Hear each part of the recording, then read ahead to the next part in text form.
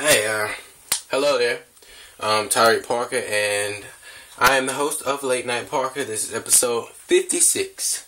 And like I said in yesterday's episode, I said I'd be wearing something, you know, uh, paying tribute to 2K.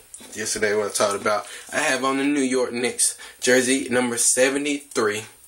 And, you know, it's not actually backwards it's because I'm in the mirror, you know. It's actually right, you know. See? New York Knicks. 73. Okay. Okay. So, um, that's, that's what it is. My topic for today is something about, like, like I said, sexuality or whatever. Is, is, the question, is it gay? That's the question.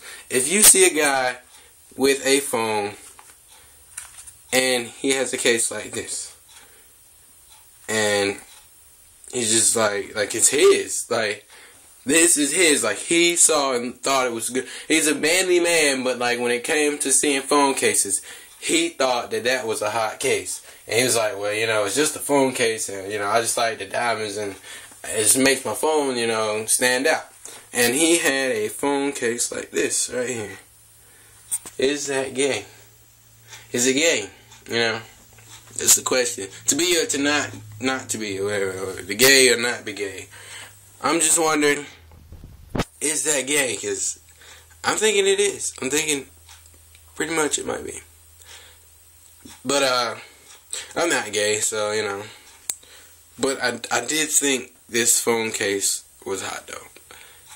Made my phone stand out. A lot of people noticed it, so maybe that's why I'm asking this question right now. So, uh, with that, that's all I got because I'm feeling a little awkward and embarrassed right now. So I will be back tomorrow with episode 57 of Late Night Parker. This is your host, Tyrik Parker, number 73 of the New York Knicks. I will see you guys tomorrow.